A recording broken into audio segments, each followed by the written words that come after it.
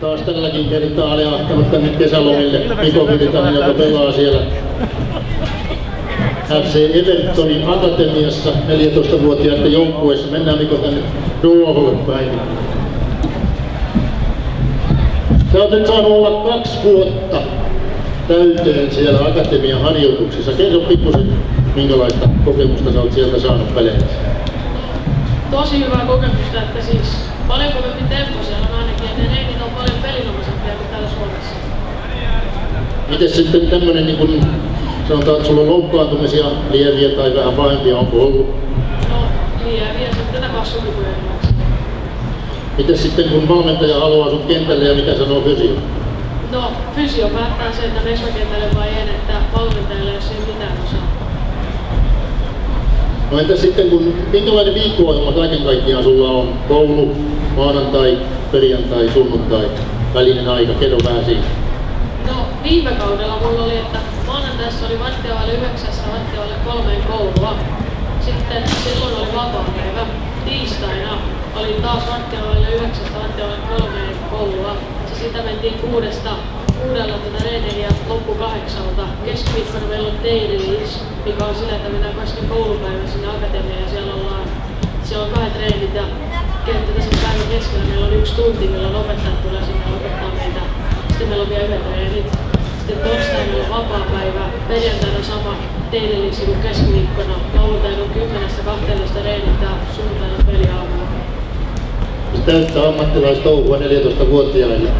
Te pelaatte viikossa yhden kokonaisen ottelun.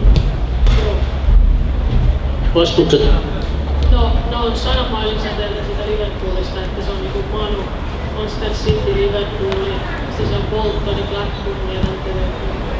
Kyllä kaikki on niinku Championshipista ja Premier Evertonin akatemian 14-vuotiaat olivat koko viime kauden kotikentällä pallopoikina. Miten se liittyy teidän joukkueen koulutukseen tämä pallopoikahomma? No sehän, en mä tiedä miten se liittyy, mutta se on tosi hyvä seurata niitä pelaajia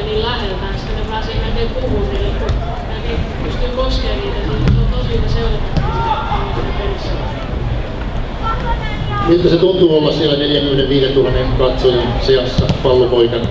No tunnelmahan siellä on hyvä, ei niin kuin täällä Tammelassa, mutta kumminkin aika hyvä. Kerro vielä siitä tulevasta koulusysteemistä, kun te nyt akatemian puolet menette kaikki samaan kouluun samalle luokalle.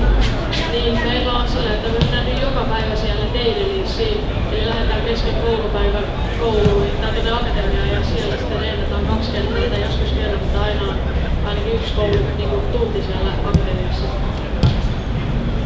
Siis kaikki pojat ovat samalla luokalla, akatemian pojat samalla luokalla samassa koulussa. Seura hoitaa kuljetukset koulusta akatemiaan, ja akatemiasta kotiin. Näin se menee. Mites tuleva kausi? No tulevalla kaudella meillä pitäisi olla ainakin kaksi ulkomaan turnausta ja koulutetaan kovia pelejä. Näin.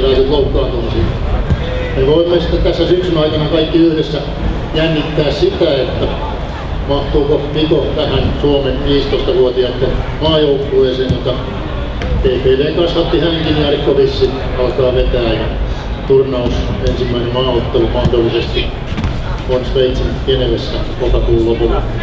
Toivotetaan onnea Mikolle.